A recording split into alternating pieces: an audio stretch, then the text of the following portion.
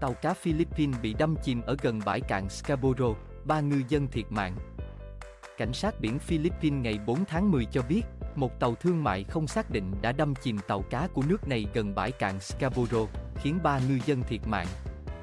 Vụ va chạm xảy ra vào lúc 4 giờ 20 phút sáng ngày 2 tháng 10, theo giờ địa phương, khi tàu đánh cá FSB Dirin của Philippines đang di chuyển qua vùng biển cách bãi cạn cạn Scarborough 85 hải lý về phía tây bắc, một thành viên trong thủy thủ đoàn của chiếc tàu cá cho biết. Cảnh sát biển Philippines đang tiến hành điều tra để xác định loại con nào đã gây ra vụ việc trên. Theo lực lượng này, chiếc tàu gây ra vụ va chạm là tàu nước ngoài. Chiếc tàu bị chìm khiến ba thành viên trong thủy thủ đoàn thiệt mạng, trong đó có thuyền trưởng. Sau vụ va chạm, 11 thành viên sống sót đã sử dụng tàu cá nhân chở các nạn nhân thiệt mạng đến đất liền, tới tỉnh Pangasinan ở phía bắc đảo Luzon vào sáng ngày 3 tháng 10.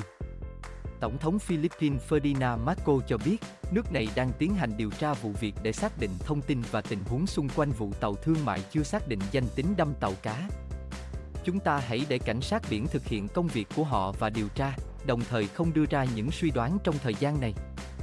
Chúng tôi xin đảm bảo với các nạn nhân, gia đình của họ và người dân Philippines rằng chúng tôi sẽ nỗ lực hết sức để buộc những đối tượng liên quan phải chịu trách nhiệm về vụ việc.